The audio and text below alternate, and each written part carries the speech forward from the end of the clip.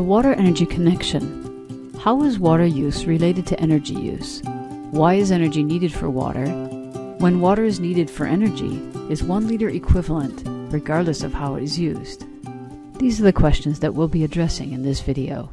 In developed countries, water and energy use can be closely connected, especially if processes rely on industrial era methods. For example, in the United States, every million gallons of treated water delivered requires 300 to 3,800 kilowatt hours of electric energy. 80 to 90% of this energy is used simply for pumping the water. Extraction, transformation, and delivery of energy in turn requires water. Let's look at two cases energy in the form of electricity and energy in the form of fuels. In both cases, the delivery requires an insignificant amount of water compared to the extraction and transformation steps, so we'll just focus on extraction and transformation. With respect to a life cycle picture, we are only considering the water input for the equivalent of material production and manufacture of the energy.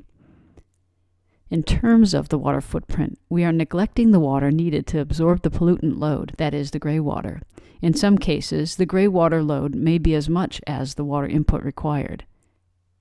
Here's a look at the use of water to extract and transform energy resources to electricity.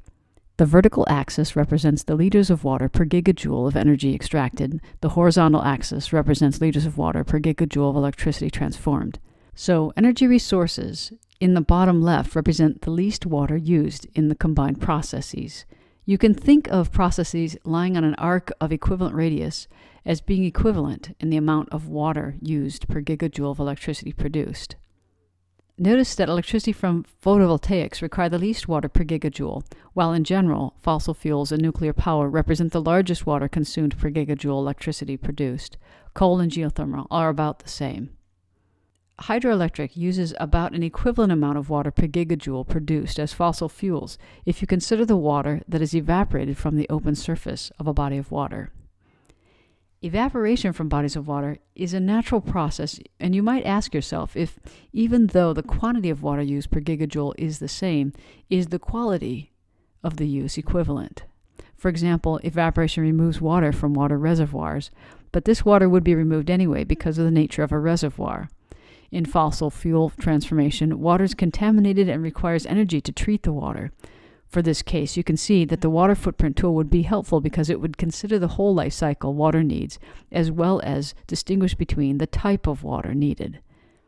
When we consider a comparison of liquid fuels, we see that the most water intensive fuels are the biofuels. For these fuels, the majority of the water is required in the growth stage for the soy and corn crops.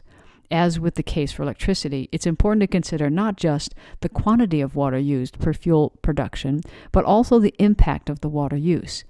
Again, the water footprint tool would be helpful.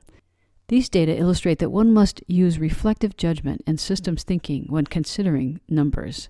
The numbers only tell part of the story.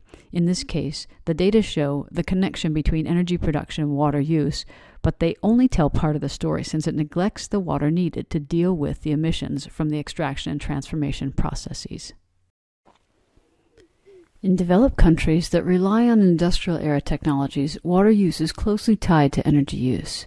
In the United States, most of the energy used in water treatment is for pumping. Energy production, storage, and delivery requires water.